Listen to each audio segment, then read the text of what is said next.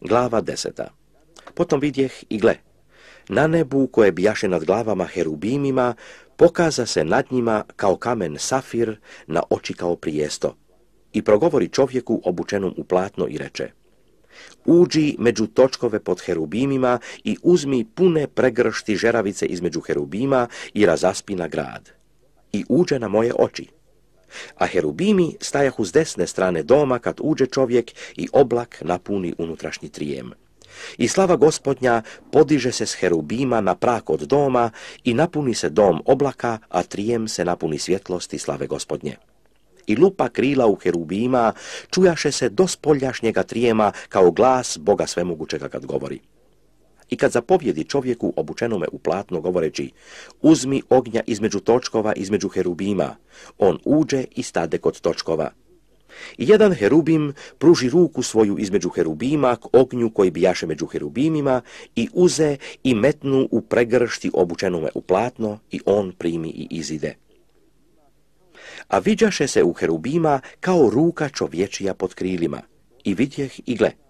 Četiri točka kod herubima, po jedan točak kod jednog herubima i točkovi bijahu na oči kao kamen hrizolit.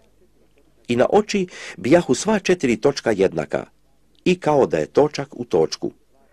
Kad iđahu, iđahu sva četiri, svaki na svoju stranu, i idući ne skretahu, nego kuda gledaše glava, ona mu iđahu i idući ne skretahu. I sve im tijelo, i leđa, i ruke, i krila, i točkovi, sva četiri točka njihova, bijahu puna očiju svuda u naokolo. A točkovi se zvahov, kako čuh, kola. A četiri lica imaše svaka životinja jedno lice herubimsko, drugo lice čovječije i treće lice lavovo i četvrto lice orlovo. I podigoše se herubimi uvis, to bijahu iste životinje koje vidjeh na rijeci Hobaru. A kad iđahu herubimi, iđahu i točkovi uz njih. I kad herubimi mahahu krilima svojim da se podignu od zemlje, točkovi se ne odmicahu od njih. Kada se oni ustavljahu, ustavljahu se i točkovi, a kad se oni podizahu, podizahu se i točkovi, jer bijaše duh životinjski u njima. I slava gospodnja otide iznad praga od doma i stade nad herubime.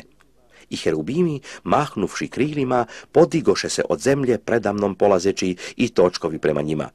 I stadoše na istočnim vratima doma gospodnjega i slava Boga Izraelova bijaše ozgo nad njima. To bijahu iste životinje koje vidjeh pod Bogom Izraelovim na rijeci Hobaru i poznah da su herubimi.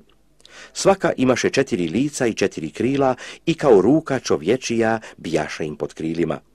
I lica im bijahu ista koja vidjeh na rijeci Hobaru. Obličja bijahu ista, isti bijahu. Svaki iđaše pravo naprema se.